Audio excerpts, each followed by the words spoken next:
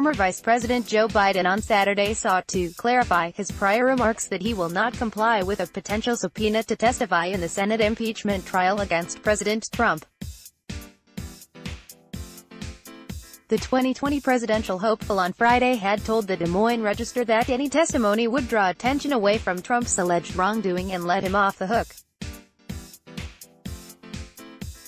Hunter Biden, wife missing from Biden family Christmas photo posted on Twitter, What are you going to cover? Biden said in response to a question about the possibility of his participation in the trial. You guys are going to cover for three weeks anything that I said? And Trump's going to get away, but on Saturday, he appeared to partially walk that answer back. I want to clarify something I said yesterday. In my 40 years in public life, I have always complied with a lawful order and in my eight years as VP, my office, unlike Donald Trump and Mike Pence, cooperated with legitimate congressional oversight requests, he tweeted, but I am just not going to pretend that there is any legal basis for Republican subpoenas for my testimony in the impeachment trial. That is the point I was making yesterday and I reiterate, this impeachment is about Trump's conduct, not mine, he said. Later on Saturday, during a town hall in Iowa, Biden said he would obey any subpoena sent to me. The question is, did Trump do his job? He added. Hunter Biden is subject of criminal probes, says PI firm hinting at more incriminating details. The House voted to impeach Trump on two articles this month, obstruction of Congress and abuse of power, in relation to his July 25 phone call with Ukrainian President Volodymyr Zelensky.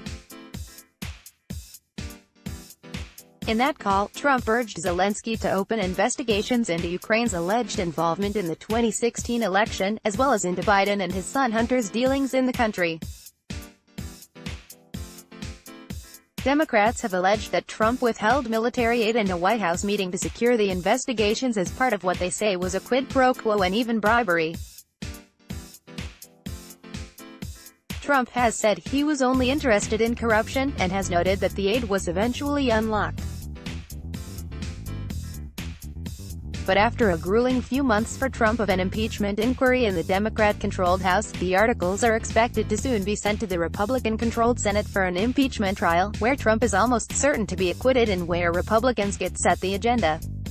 Click here to get the Fox News app. It is possible that Republicans turn the trial into its own investigation of Biden's conduct in relation to Ukraine, specifically his demand in 2016 that Ukraine fire a prosecutor who investigated an energy firm where Hunter sat on the board. On Saturday, Biden said instead that subpoenas should go to witnesses with testimony to offer to Trump's shaking down the Ukraine government, they should go to the White House. Fox News' Luis Casiano contributed to this report.